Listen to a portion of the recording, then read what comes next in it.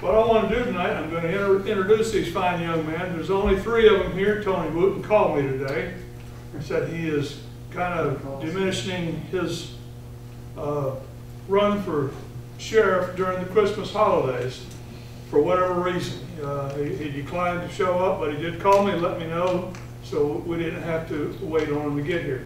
But I'm Mickey Gilbertson. For Those who don't know me, uh, those who do know me, you may not want to know me, that's fine with me too.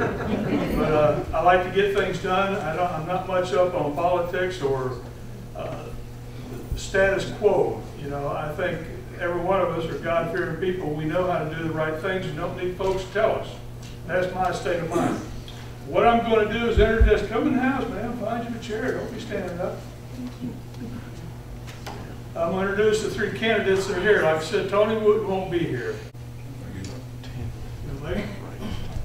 Doug? All right, speaking of case law, uh, uh, Smith versus Cumming, 11th Circuit Court of Appeals, uh, just simple yes or no. Will, will your administration uh, respect photographers' rights? The answer is yes. Very good.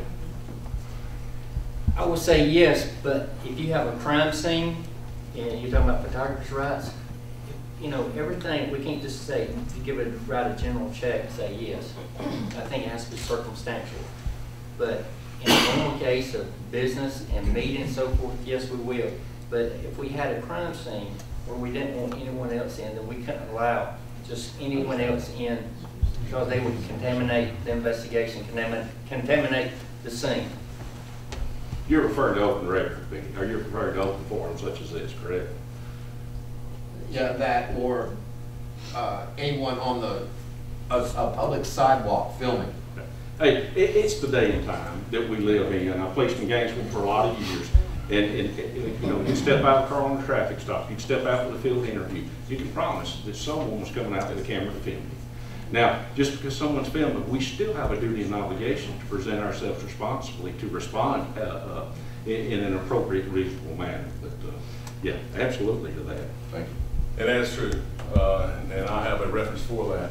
We had an officer that was doing something inappropriately in Hall County with a detail. And actually, with some citizen was over videotaping with a smartphone. The individual, well, the officer, and the inmate, what they were doing was, it was against the law, basically. And he wasn't arrested or anything like that, but what happened was, is we open up an internal investigation, suspend him with pay, send him home. The inmate, of course, wrote, wrote out a witness statement on this. That evidence was used against him for termination purposes. We had no choice. But they are people out there videoing, and they have a right. They have a right, and I support it, strongly support it, because this was proof of it, and it helped us. It actually helped us. If anybody would like to take a break or get some water or a cold drink, uh, feel free. My time's up. You watch. Questions? I'd like to make a comment. Um, The, uh, the amount of marketing and the, uh, the signage for candidates, in my opinion, it's overkill that we have all these signs up months and months and months ahead of the election. I think, uh, in some cases, it's unfair to other candidates. If somebody has some, you know, someone sponsoring hundreds of signs throughout the uh, county. So I, I don't know what the law is relative to it, but it was always my impression that over the course of an election period, there's a period of time in which you can post your marketing materials. I'd like somebody to explain what that is here, because it feels like we're not enforcing that. That's number one. And then, and then the, uh, the, the second thing I just wanted to say is, it's a shame that all the candidates aren't here, and I, I heard the reason why, and it still doesn't make a lot of sense to me. I mean, they're probably most of the folks in this room are Christians, and I respect people's religious beliefs and all that, but this is pretty important. But there's only a very small percentage of the community here getting to learn about you. So I would call out to the paper, because I'm assuming the newspaper is here tonight, that mm-hmm. they've come up with a spread of, with the candidates and all of their qualifications and what they're gonna do, so that not just seventy-five people in the county get to hear from three candidates, that the whole county is educated before they go to the booth and vote for sheriff. Uh, I don't think the, uh, I think some folks, uh, quite frankly, may have an unfair advantage. Uh, There are people that are behind the scenes that nobody knows, that's why I came here tonight. So I would just call upon the newspapers, the media, to give the candidates an opportunity and publish in the newspapers what you're about, what your posted. qualifications are. It was on Dawson County News. I, I read it on each one of them. The county, the county newspaper at the time did, there was going to begin a series of articles, uh, in the, in the I'll answer paper. to that. We, um, I'm with, I'm, I'm Michele Hester, I'm with Dawson County News, I'm the government crime reporter, so this is right up my alley. Yeah, This is the best thing. And you do a great job, though. Thank you. Um, but when, when each of them announced, we did do an initial story, that is just our policy. When someone announces a candidacy, I wait for them to come to me, I don't go to them, but I wait for a candidate to come to me and when they're ready to announce.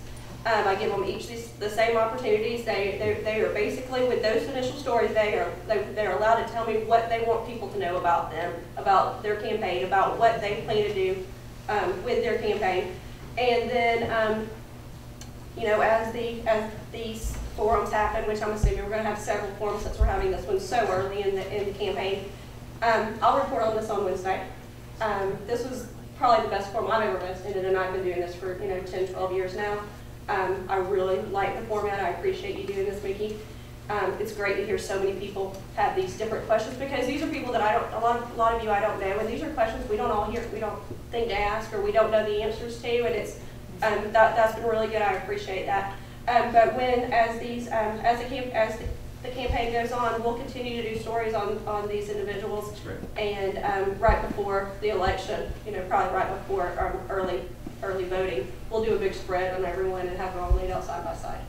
Uh, as far as signs, the only sign that you're gonna see on me is on my car. And that's it. I'm not, I'm not putting any signs out there. I think signs are a frustration with a lot of people. It's The just the- it's just uh, the- county road department makes a habit of, of making mincemeat out of most of them.